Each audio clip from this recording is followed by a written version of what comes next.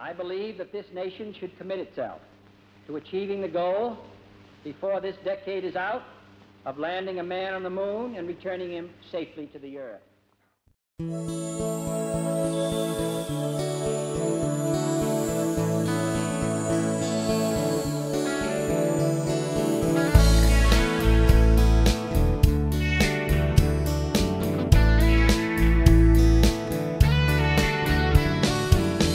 He took a moon trip in a rocket plane. He entered a world no one could explain. Dark shadows creeping on the shore. Tried to open this great cosmic door.